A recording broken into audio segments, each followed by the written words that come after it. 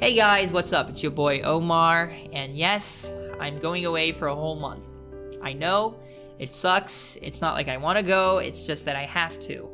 Um, I'm currently in the process of getting my O1 visa, and uh, unfortunately for me, I'm not allowed to post any videos during that time period. It's the law, and there's nothing I can do about it. So, I'm sorry. It's just very disheartening. Um, it's a tough time for me. So, just bear with me. Anyway, I hope you understand. I'm really sorry. I love you guys. You're my Sebali warriors. Stay awesome. I'll be back real soon. I promise.